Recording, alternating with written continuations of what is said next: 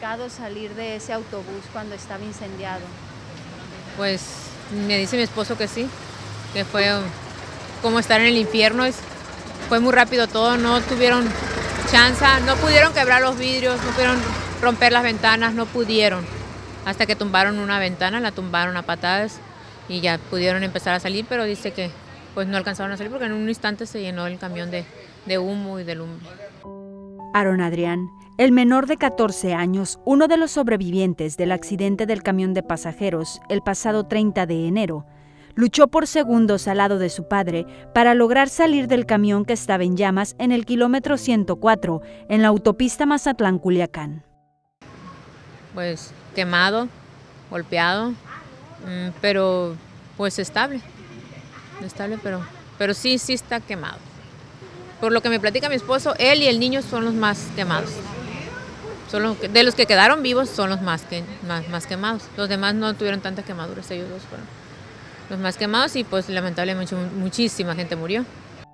Erika Vianey Camacho, madre de Aarón, platicó que su hijo y su esposo viajaban de regreso a Angostura, ya que fueron a atender una cita a Guadalajara para dar seguimiento a su trasplante de hígado. Gracias a Dios, es bien guerrero y todo. De hecho, el día del, del accidente él venía de, de, una cita con su gastro, que es la que lo atiende en Guadalajara, y, desde, había ido a consulta pues de rutina, porque cada tanto tiempo va, le hacen estudios y de rutina, pero pues el día del accidente de allá venía y había tenido una comida con los doctores de él, con, con los dos cirujanos que le hicieron el trasplante y, y pues qué te diré, ha batallado mucho, pero tiene un angelote que todo el tiempo lo cubre y siempre ha salido adelante.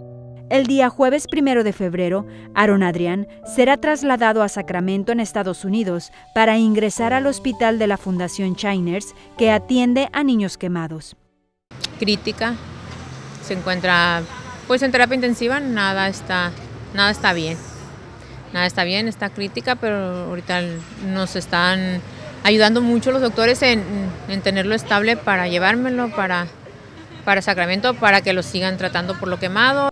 Han pasado 30 horas del accidente y los responsables de la línea del transporte y aseguradoras no han tenido comunicación con los familiares de los heridos. la presidenta del DIF también, María, a, diario estamos en contacto con ellos. Eh, ellos nos han ayudado mucho y pues ellos están a la orden. A la orden. tema de la aseguradora, contactos con ustedes, con su familia. A nosotros no nos ha venido a buscar ninguna aseguradora ni nada. A nosotros no, nada, ni nadie en representante de, de transportes, nada, nosotros no venimos a buscar, nada más fiscalía. La señora Erika externó que luego de las pláticas con su esposo, uno de los sobrevivientes de este accidente le detalló lo complicado que fue salir del camión, ya que fue difícil lograr quebrar los cristales.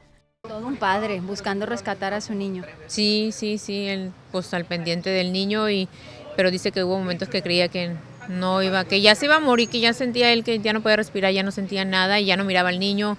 De hecho, él cayó primero porque estaba alto el camión de dos pisos y ya después que cayó él, cachó al niño. Él ya después se tiró, el niño se tiró, ya él lo cachó.